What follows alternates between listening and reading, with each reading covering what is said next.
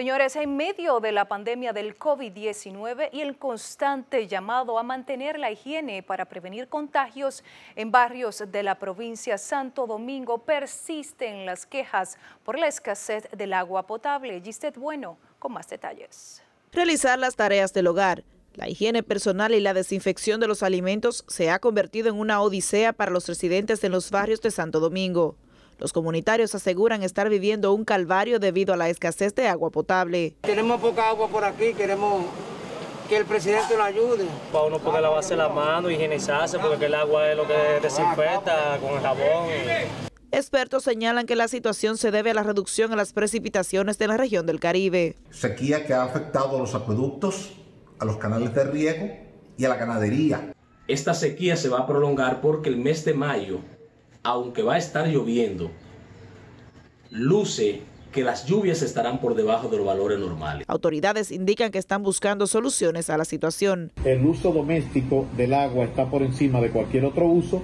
En este momento el canal Marcos A. Cabral, que se alimenta de las presas de Higüey y Valdesia, está fuera de operación. En tanto que desde este jueves las nubes más densas producto del polvo del desierto de Sahara llegarán a la República Dominicana. La condición permanecerá en la isla hasta el próximo lunes. Gisette, Bueno Noticias, Telemicro.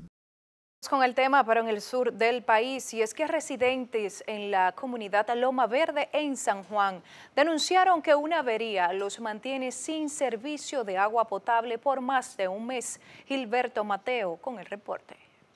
Para los habitantes de la comunidad Loma Verde, al norte de San Juan, es una gran preocupación vivir sin agua potable en tiempos de coronavirus. Ahora mismo con este coronavirus nos vamos a contagiar todo, porque si no tenemos agua para hacer la limpieza.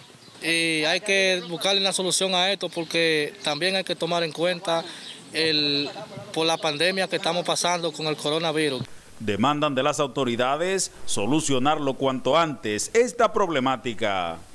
Donde le exigimos a la directora de INAPA que ya nosotros estamos cansados de esta situación. Nosotros tenemos siete meses que no nos llega una gota de agua. Que por favor nos ayuden con eso si se puede, porque la estamos pasando mal. Tenemos, yo soy una mujer que tengo problemas de salud y tengo que cargar esa agua de aquí abajo para arriba. Según estos comunitarios, es una tubería que tiene desperfecto, la cual no permite el suministro de agua potable a la comunidad.